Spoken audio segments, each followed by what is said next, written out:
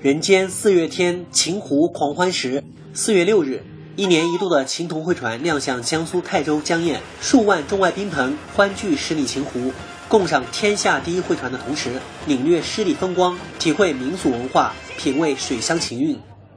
秦童会船是江苏泰州江堰当地的传统民俗文化活动，历经数百年而不衰。每年清明节后，上千船只、上万船民自发集会在十里秦湖，有着“天下会船属秦童，秦童会船甲天下”的美誉。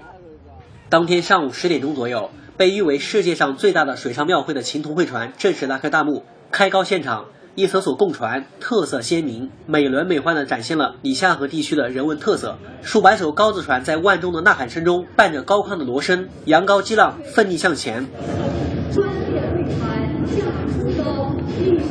我们每年都会来看秦童会船，非常的盛大嘛，然后也是对传统的一种发扬嘛。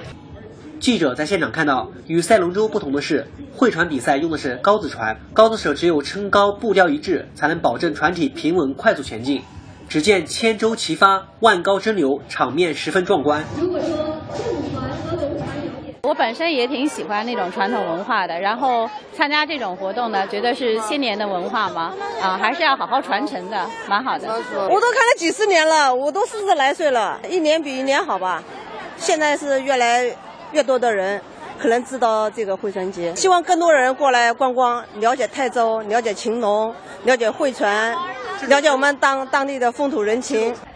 据史料记载，秦通会传其历史渊源最早可追溯到南宋时期。相传岳飞率领的岳家军与金兵激战秦国后，当地百姓每到清明时节撑船祭奠阵亡将士，久而久之，便演绎成如今的水乡民俗。